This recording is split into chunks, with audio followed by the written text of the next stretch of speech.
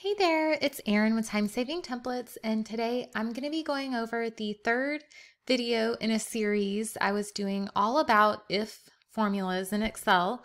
So I will link to the first two videos, which went over this one right here, the average if and max if and min if formulas, and then skipping back a few, the first if uh, series video was over sum if and count if.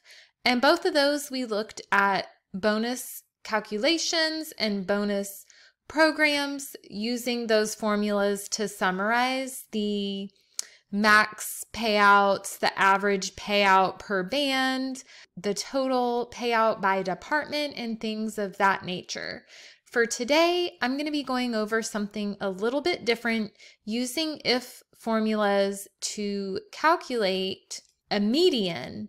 So a median if, which is not an actual formula in Excel, but we're using the median function with the if function together. So we can pull in the median from a data set if it matches a certain criteria in the data set. So the template I'm going to be using for this example is the pay structure design template, which you can also find this one at timesavingtemplates.com in the HR section. But basically, there's a few different tabs and pages here that are set up uh, to help you calculate salary ranges if you work in HR compensation. So there's different ways you can go about if you have the min and max and you need the midpoint.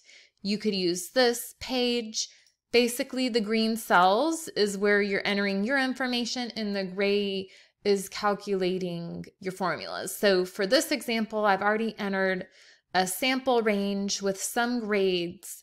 And with this tab, the defining min and max, we just entered a midpoint and then we entered what range spread we want. And then it's calculating the min and max of the range based on that information. There's also a couple pages where you can plot out your ranges again and then have it rounded here and then also displayed in a graph. For this example, I'm going to stick with this one tab where I already have my sample data entered for some different ranges for some salary grades. And I've added an extra column in right here, and this is where I'm going to do the formula for the median if. I'm looking for the median in the data set.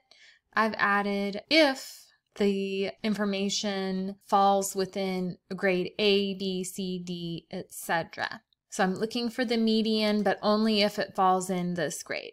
So that's a median if.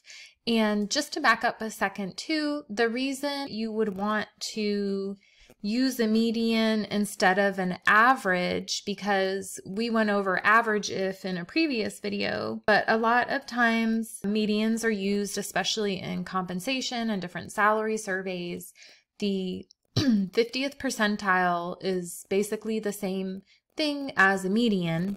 And the main benefit is that if you have outliers, either very high or very low outliers, the median will not be affected by that. It's if you sort the data lowest to highest, it's just taking the middle number out of all occurrences. So it will just give you that middle 50th percentile. And so half of the numbers are going to be above it and the other half are going to be below the median.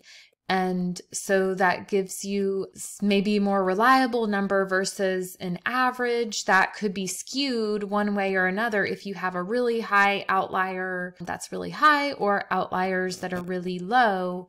It can lower the average for everybody. So I have added in a column here to put the formula, and I've also added some sample market data that I've just plugged in some just sample jobs and everything. So if you had a large list of survey data, you would typically have more columns than this, but I'm just showing the first three columns.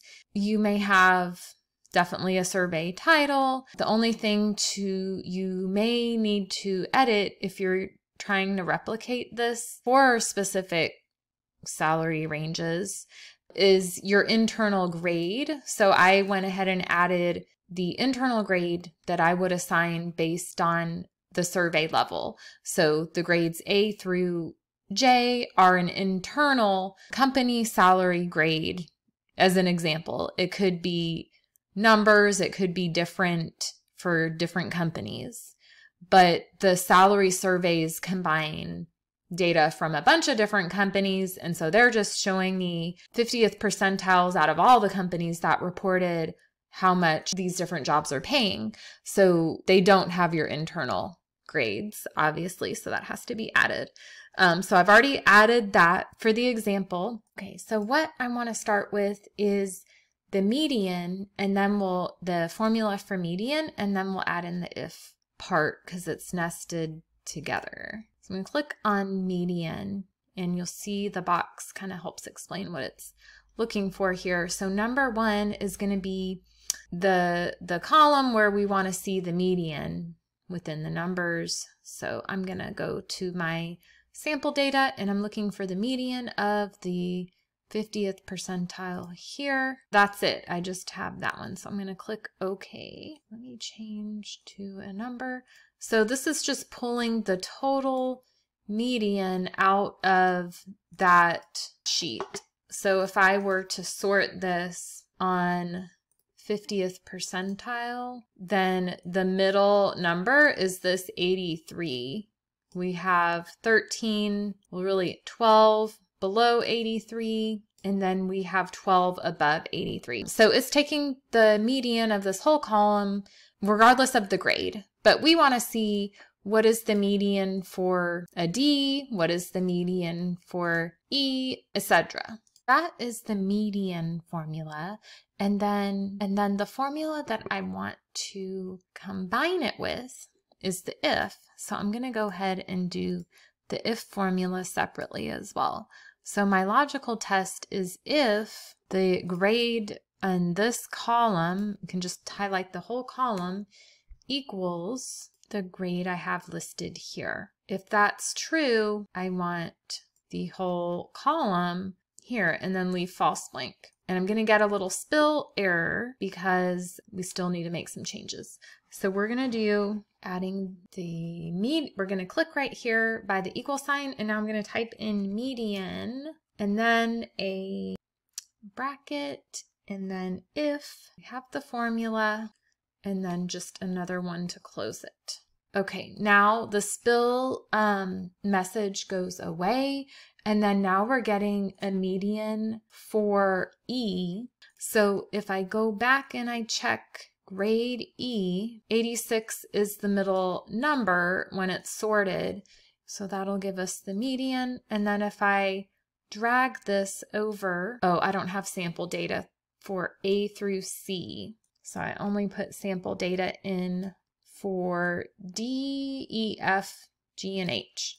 So you'll see that it's bringing in the median from my data set. And then what I would do is compare the median data to the midpoint to see how far off the median is from the midpoint of the range and so that is how you would do the median if. The easiest way, do the if formula first. It will give you that message, but once you add median to the front, it will it will work to give you the median per the grade. So I hope that helps. And that is the third video in this if series. I may do one more if related formula for a fourth video next. But if you enjoyed this video, please feel free to like and subscribe. You can find this template that I've used in the example by going over here to timesavingtemplates.com and click on the shop in human resources tab and you will find the template in here. We also have some free resources if you go to timesavingtemplates.com slash free resources, there is a free comp compensation metrics cheat sheet here in the HR and comp um, freebie section, as well as a free guide to getting started with Excel. So until next time, don't forget, I'm here to help you streamline and save time when it comes to using Excel spreadsheets for your different projects. And thanks for watching.